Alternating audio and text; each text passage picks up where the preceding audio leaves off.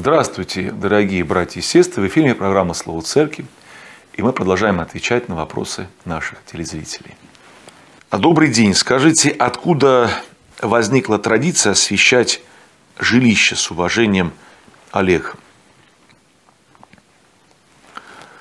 Традиция освещать те или иные предметы своего быта и само жилище возникла очень давно, Олег. Сейчас я даже точно не скажу, это второй, третий, четвертый век, но это не 100 или не 200 лет назад. Дело в том, что а, традиция освящения жилища, она связана с пониманием места человека в, своем, в этом мире и с ролью вообще самого жилища. Мы знаем, что, как говорит апостол Павел, этот наш земной дом и наше тело само, в котором живет наша душа, и сам дом, в котором мы живем как жилище, все это когда-то разрушится. Потому что, как говорит апостол Петр, земля и все дела на ней сгорят.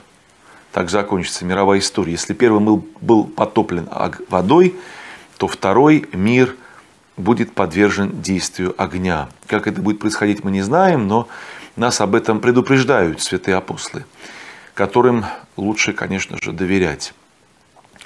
И вот э, освящение жилища связано с пониманием нашего места, нашей роли в этой жизни и с пониманием того, как мы проводим время. Вот христианин старается делать так, чтобы благодать Божия везде сопутствовала ему, чтобы он везде был вместе с Богом. Соответственно, традиция как бы крестообразного освящения жилища, она сложилась давно. Еще в Ветхом Завете мы видим, как э, евреи получили повеление от э, Бога через пророка Моисея помазать кровью агнцев, которых они заколали в эту пасхальную ночь, косяки своих жилищ, то есть дверей. И, соответственно, ангел смерти, который ночью проходил по всему Египту, убивал всех первенцев, он не коснулся этих дверей. Также, когда мы крестообразно освещаем свое жилище с молитвой, мы понимаем, что оно с этого времени как бы находится под защитой Бога. А крестное знамя – это самая великая сила, которая есть на земле. Потому что крестом Господь победил самого дьявола, сатану и силу смерти. И также устранил э, проклятие. Так вот, когда мы крестообразно освещаем свое жилище, призываем Бога, чтобы Он осветил это место, оно оказывается под защитой самого Творца. И, конечно же, э, если вспомнить известную историю Закея, который был мытарем, сборщиком налогов, налоги он собирал в пользу оккупантов, был человеком презренным, но он позвал Господа Иисуса Христа в свой дом, и Господь пришел к нему домой. Мы знаем эту историю из Евангелия. И Лазарь, то есть э, Закей в этот вечер духовно исцелился. Он пообещал раздать половину своего имени нищим и вообще э, воздать всем, кому он обидел в этой жизни.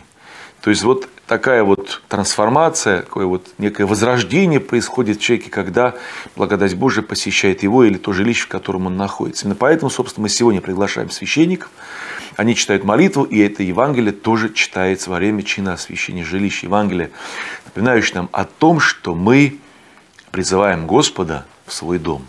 Да, и Господь, который говорит о том, что Он стучит среди нашего сердца, Он входит в наш дом и живет вместе с нами. А если Господь находится вместе с нами, то, конечно же, э, это жилище становится местом обитания не только человека, но и уже самого Господа.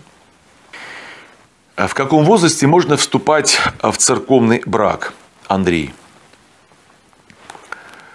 Андрей, церковный брак совершается в церкви только после того, как э, лица могут заключить свой гражданский брак. Как вам, наверное, известно, в нашей стране гражданский брак заключают не раньше 18 лет.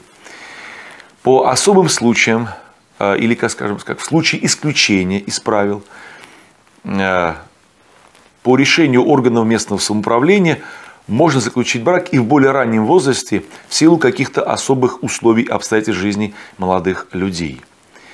В этой ситуации по решению правящего епископа данной епархии – и церковный брак может быть благословлен раньше установленного возраста, то есть раньше 18 лет. Вот, собственно, таково решение и таков подход церкви. То есть мы не венчаем те браки, которые еще не узаконены вот в ЗАГСе, то есть в органах местного самоуправления. Скажите, как, э, смиряясь, не впасть в самоуничижение с уважением Наталья? Наталья, самоуничижение и смирение – это не совсем одно и то же. Если человек впадает в состояние уныния или уже даже отчаяния, он может себя самобичевать до тех пор, пока не наложит на себя руки или не впадет в какую-то, сказать, полную апатию и в состоянии какой-то вот такого ну, духовно-телесного, духовно-психофизического какого-то такого нокаута, когда он уже не способен будет вообще двигаться, и ему понадобится помощь как психиатров, психологов, так и священников. Когда мы говорим о смирении, то имеется вот такое состояние, которое а, освещает человека, оно одухотворяет его, но никак не давит и не отнимает у него свободу, не лишает его возможности духовно развиваться. А в результате часто самоуничижения мы впадаем вот в такие нездоровые состояния. Бывает самоуничижение и полезное, когда человек действительно настолько сильно взлетел вот в, своем, ну, в своих глазах, настолько он заболел высокомерием, может быть, что ему надо иногда из себя немного уничижить. Это полезно, чтобы человек не задирал нос и не считал себя лучше всех остальных. В этой ситуации полезно иногда и э, смирить себя.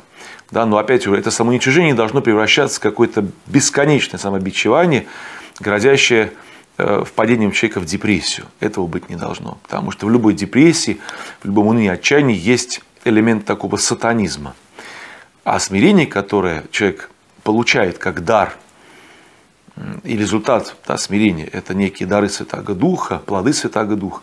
Это очень светлое состояние, оно украшает человека и оказывает и делает его способным воспринимать любую обиду, любое так сказать, уничижение воды из себя со стороны других людей, как ничего не значащее действие. Именно поэтому мы, собственно, просим у Бога смирения, а не какого-то искусственного самоуничижения. Почему восточные христиане называют свою церковь православной? Они что, считают, что только они правильно славят Бога? Игорь Евгеньевич. Да, действительно, наша Восточная Церковь называется православной. Западная называется римо-католической. Хотя они тоже считают себя православными. И многие отделившиеся от православия Восточной Церкви, такие как армянская, э, сиро-яковицкая, индусская и эфиопская, тоже считают себя православными сказать, с той точки зрения, что они правильно прославляют Бога. Прославление Бога прямо проистекает из божественного откровения.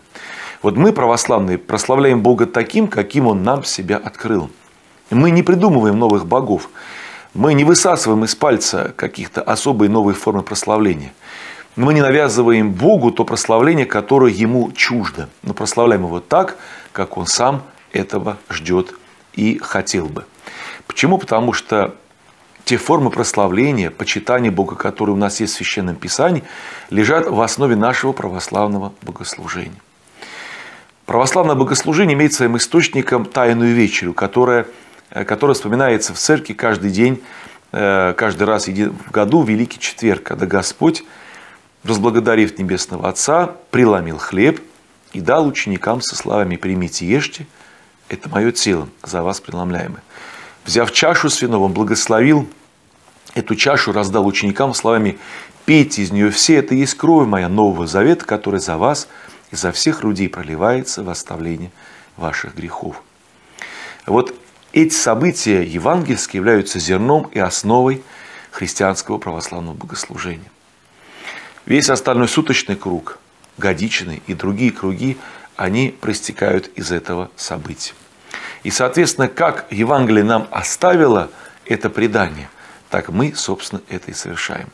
Мы ни с кем не спорим, что мы совершаем более правильно прославление Бога, а другие менее правильно.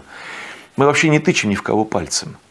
Но мы знаем, что мы прославляем Бога в духе и истине, как сам Господь сказал однажды в беседе женщины самарянкой в Евангелии от Иоанна, 4 главе. Он сказал такие слова. «Наступает время, когда не только в Иерусалиме, но на каждом месте люди – будут поклоняться Богу. И поклоняться они будут в духе и истине, и таких поклонников Отец ищет себе. Вот, собственно, и краткий ответ на вопрос о прославлении Бога. Спрашивает Татьяна, есть ли разница, сожгут или похоронят в земле?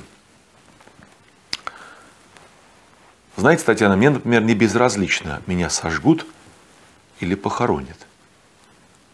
Э, отвечу просто, не безразлично, потому что в нашей христианской традиции человека кладут в землю таким, каким он умер.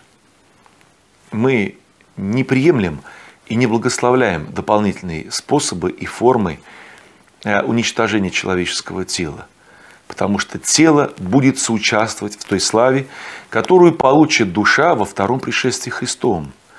Если эта душа будет съедаться с телом, кто нам, кто нам дал, дал право это тело уничтожать? В Священном Писании прямо сказано о том, что человек состоит из души и тела, и образ Божий в человеке проявляется как в теле – так и в душе.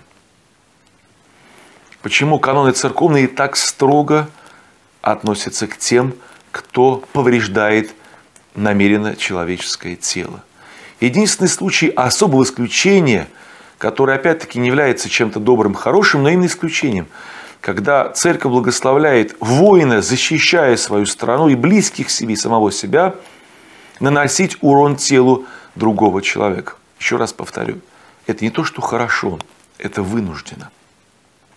Это исключительная мера. Во всех остальных случаях канон четко предписывает, что если кто-то кого-то бьет, то он подлежит церковному суду. Даже за резкое слово по отношению к человеку нужно отвечать по всей строгости церковных правил. Именно поэтому мы с благоговением относимся к человеческому телу, даже когда это тело уже умершего христианина мы совершаем кождение над ним в церкви или там, где оно лежит. Мы благоговейно укрываем его, одеваем в одежду. Положено по правилам церковным помазывать его освященным елеем и совершать все знаки почитания по отношению к телу. А когда мы его сожигаем, остается неизвестно что. Какой-то прах, который иногда некоторые хозяева этого праха хотят, чтобы его развеивали над их любимыми городами, селами, как недавно один великий певец заповедовал. Честно говоря, при всем уважении к этим людям, я их до конца не понимаю. Может быть, эти люди руководствуются не совсем христианскими соображениями, но мне, как христианину, глубоко чуждо понимание того, что тело человека после его смерти можно сжечь. Может быть, в какой-то индусской или другой культуре это нормально. Но для нас, христиан, с нашим пониманием человека, созданного Богом из праха земного – и человеческой души, такое понимание чуждо. Дорогие телезрители, время нашей программы подошло к завершению. Я прощаюсь с вами, напоминаю, что вопросы священнику в нашу программу можно задать через сайт телеканала 77info.ru или по тому адресу, который вы сейчас видите на экране ваших телевизоров. Божье благословение пусть пребывает со всеми вами. До свидания.